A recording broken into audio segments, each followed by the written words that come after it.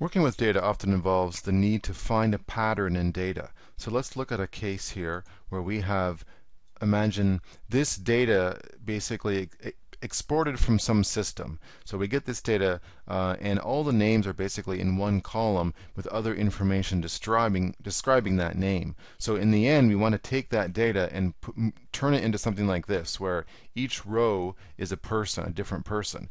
Now we have to find a pattern to know when when each uh, set of data starts and stops. So when we look at this one, this one's not too bad. We can see quite clearly that the names are always in uppercase. So we know that's where each set starts. So this is the first set, and this is the second, and then this is the third.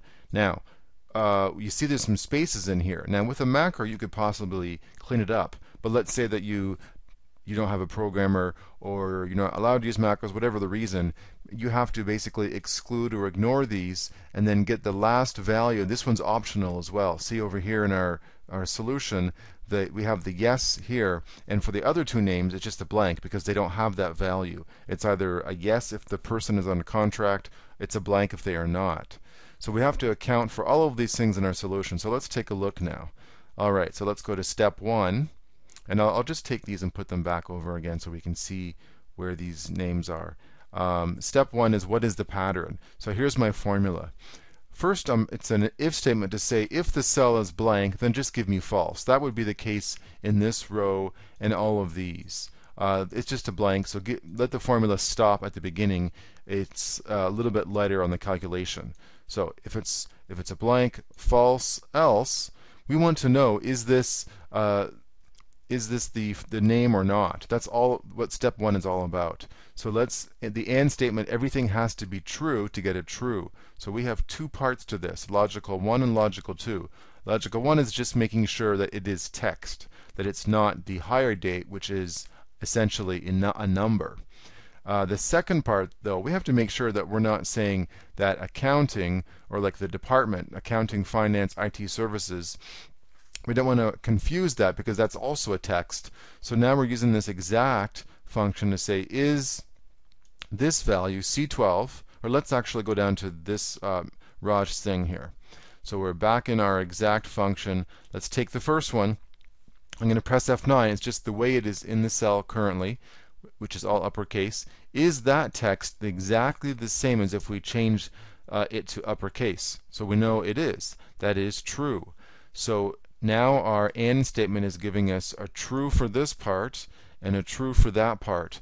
And so, of course, the whole thing gives us an answer of true, and that's what we get in the cell. We only get a true when it is uh, the person's name, all the way down. This could be thousands of rows. If it's here for finance, this is going to fail. We'll get the false because our AND statement Sure, this is true. It is text. I press F9, I see true. But for the logical, when I press F9, it's giving me a false.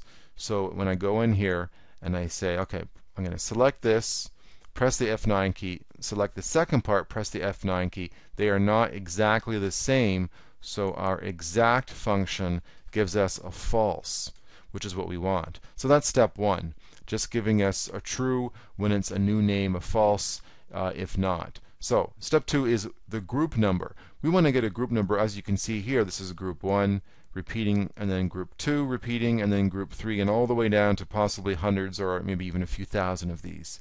Uh, and that simply is, let's look at this one. Pretty simple formula that says uh, if D9 equals true, then yeah, if D19 equals true, then we want to say, okay, give me a 1 plus the value above, which means that it's, an, it's at the next group, so it's a 2. But let's say we were down here, and uh, now I'm saying if D21, which is this cell, equals true, 1 plus the value above, but in this case that's not true. Uh, so we're simply repeating the value above, repeating the 2 above, repeating the 2 above, all the way down until once again we have a new number, a new group. Um, and it's worth mentioning if someone tries to tell you to use a moving count if, where uh, the the second part of the range is, is growing as you move it down, that is very dangerous because it's okay in a small data set like this, you wouldn't even notice the difference. But in a very large data set with 100,000 or 200,000 rows, that would cause your computer to probably freeze and crash. And this is a very simple formula. All right, so step number three what is the group item number? So we want to be able to look at, uh, there is a pattern, right? So the, the department is always a 3.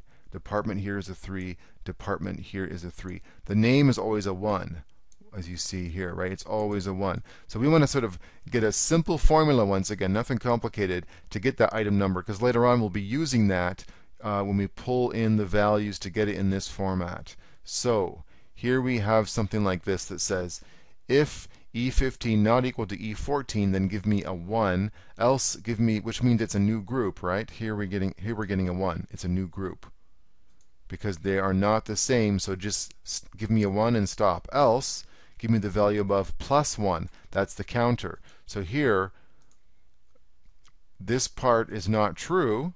So we're going to the false part of the if statement, the value uh, above plus 1. So now we have our, within, the, within each group, we have an item counter. And then finally, uh, step 4 is just the lookup key that lookup key, it simply puts the two together just to make it a little bit easier in this part that I'm going to show you now. So let's look at our final formula. Um, I've put if error around the whole thing, but for now let's just ignore that just to make this a little bit easier to, to interpret. Okay, so I'm going to press enter. I'm going to drag this over and drag it all the way down. And we get a bunch of errors. Later on we'll clean that up. So, offset. Uh, offset starts here on C10, which is the top, the, the column header data. How many rows down? We're simply putting this together. The one, let's just go inside of the match really quickly. I highlight this part, I press the F9 key, 1 underscore 1. Find it in here. It's the first item. So our match, if I go like this, it's going to give us, if I press the F9 key, a 1. So start at C10, go down 1. Well, let's look at the third name now, Julio Ramirez. He's a ways down the list, but starting in C10, the match is this time I'm going to press F9 gives us a 14. So we'll start from here, go down 14. That will get us to Julio. And of course, we're not going any columns to the right or to the left. We're already in the correct column, which is column C. So we look at another example. Um, let's say IT services. Um, we go in here. We're starting at C10 again, and we go down 16. So really, it's all about this key in here. We are saying look for the 3 underscore 3, which gets us to Julio's uh, department name, which is IT services. Now you see how this changed actually. Let's just put on that if error at the very end here. Many different ways that you could avoid using if error, but I'm just a bit lazy. You could have another counter again, uh, but I'm just going to wrap the whole thing because it's not that heavy. Press enter I drag this over, um, I drag it down, and now I'm just going to go in here, get the date format, and click this. Okay, so now you're ready to hand this over to someone. All they have to do is know that this area here is where they go in and paste the data. If they want, they, you can show them how to, maybe you could make a name range out of this, give it a name up here in the name box, then they just highlight it, maybe they right click clear the data if uh, then they can paste in the new data and this will basically change the data and put it in the correct format. Now, there's one little thing here. What if they are concerned that the formulas aren't dragged down far enough? They have 10,000 rows one time, the next time it is 80,000.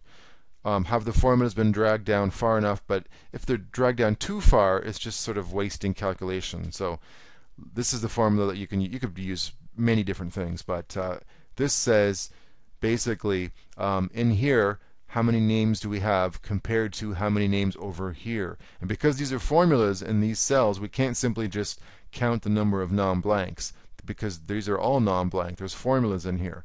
So this little array is getting the max number in our step 2, which is the number of people, number of names, uh, is it equal to the number of things here that have a length greater than 0.